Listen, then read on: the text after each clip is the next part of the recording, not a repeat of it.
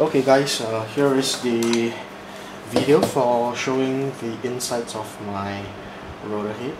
Right now, if you were to to if you were to realize, look at the the flow the the flow of the fly bar is uh, at this present moment very flexible because I have actually loosened the nuts inside here. Okay, but according to some of you in the forum, is saying that no matter how much pressure that I put on these bolts which are holding the blade grips to the rotor head by right I should be having this uh, flexibility of uh, moving the flybar and both blade grips. Now I'm going to show you now if I were to tighten this bolt here inside okay using my hex screwdriver. So if I were to turn it clockwise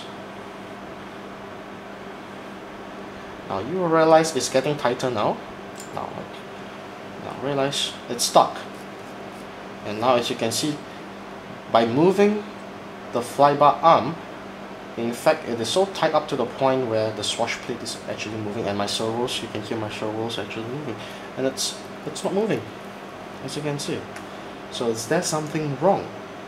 So let's take a look inside inside this okay inside to see whether my bearings and my truss bearings have been set up correctly now on this second part of the video, I've actually removed the screws holding the blade grip to the rotor head. Okay, and I've actually uh, dismantled the, the grips here on both sides of the blade grip. Right, so in fact I can actually remove the grips here, the blade grips here. That's kind of stuck. Okay. Alright, so here we have a Tarot a compatible Tarot uh, blade grip which I've just bought uh, last week. As you can see inside you have half the other pieces of the of the bearings and truss bearings. I'll, I'll show the assembly in a short while. Okay here comes the the other part of the video where I have taken off the blade grips, the two blade grips from the rotor head. And uh, here's the assembly for the feathering shaft okay now if you to look at the feather shaft it looks pretty straight on both ends. And uh, as you can see the assembly is made up of the inner washer. There is an inner washer right here okay which actually sits just before the rubber dampers of the rotor head right? Followed by the blade grip. If you were to look at the blade grip there is an inner bearing here which actually fits right inside just after this washer. And the remaining of this assembly here goes inside the blade grip. Goes inside the blade grip here.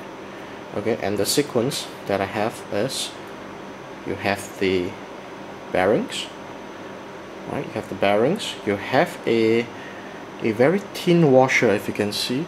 A very thin washer right between the truss bearings and the inner and the inner bearings. There's a small washer a thin washer here if you can see it. Okay. I'll turn it I'll turn this slightly. There you can see there is actually a washer here right? And this is followed by of course huh, there you can see it actually comes up. Right then as you can see the truss bearings which consist of three metal parts now the inner metal part is uh, the center hole is slightly smaller compared to the outer ring.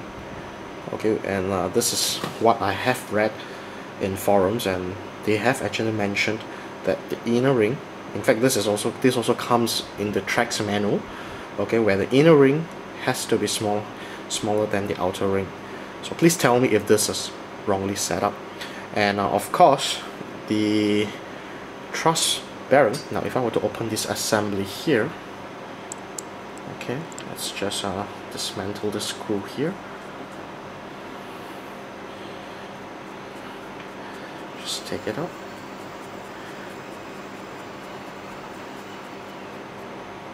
Right okay. If I were to remove this right you realize you realize that there is a washer a washer that sticks together with the with the screw right? And this is the outer piece of the truss bearing.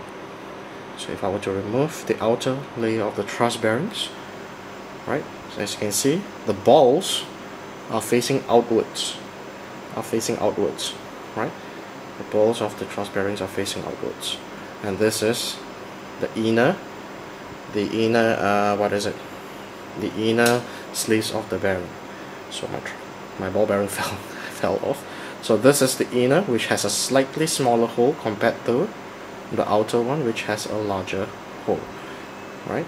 So basically that's the setup of the entire uh, head unit which consists of the fairing block.